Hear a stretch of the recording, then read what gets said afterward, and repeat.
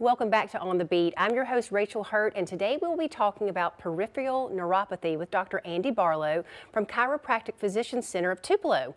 Welcome back, Dr. Barlow. Hey, Rachel, thank you for having me. So good to see you again. I feel like it's been a minute since I've gotten to see you in it, person. It has been. It's been a little while. Well, good. I'm glad you could join us Well, today. thank you for having me. I want to ask you about peripheral neuropathy. Okay. What exactly does that mean? Okay, well, when it comes to the, the nervous system, you actually have a central nervous system, which is your brain and spinal cord.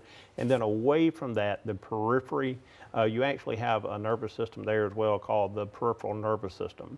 Now, when, around those nerves, we actually have a protective sheath called the myelin sheath. And when this, this sheath gets damaged, uh, it can actually slow down transmission, and then patients start to get numbness and tingling and pins and needles. They can actually get cold hands and cold feet.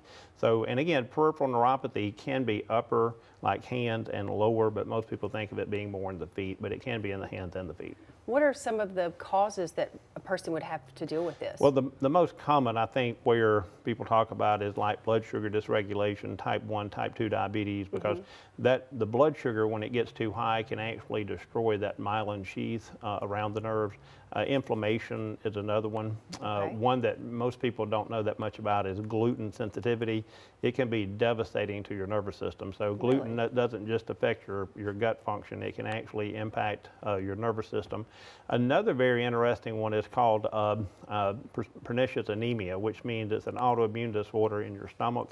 And what happens is you can't get B12 from your stomach into your bloodstream. And if patients have that, then they don't have the, the basic building blocks to maintain a healthy nervous system, even brain and uh, peripheral nerves. Interesting. Yeah. Well, what if I was experiencing the numbness, the tingling in my feet? What, sh- what should I do next? Well, the one thing you could do is you could, of course, you could come into our clinic and we could do a head to toe neurological evaluation. Mm-hmm. We would actually evaluate you. We would actually do a disability index to see how much nerve damage you have, subjectively, meaning how much you say you have, Right. versus objectively compared to what I find on a neurological exam.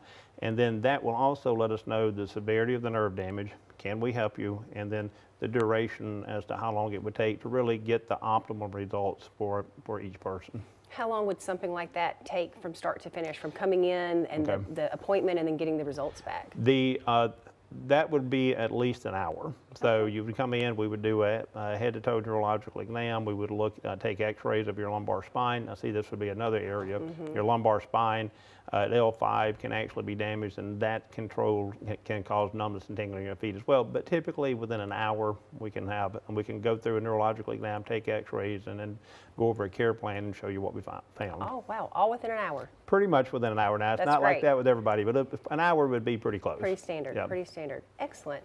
Well, that, that's really interesting. I think this is something, you know, you hear about gluten sensitivity. There's so many triggers for this. Yep. So I'm sure you're probably opening some people's eyes to some symptoms that maybe they didn't know were related to this. Yes, and, and well, again, it's typically it's when you can't feel your feet, you also have problems with balance, walking, uh, and and then it can actually slow down brain function. Uh, it's called your parietal lobe. Your parietal lobe is uh, what's called neurologically presynaptic to your frontal lobe. Don't mean to get too doctor lingo here, but Right. but then what this will do is it actually it'll actually slow your brain function down, causing focus, attention, and concentration just because of Interesting. just, just because your feet aren't working properly. Oh, I can't wait to learn more about this. If you want to learn more about this, all the information to get in touch with Dr. Barlow and his staff is on the screen.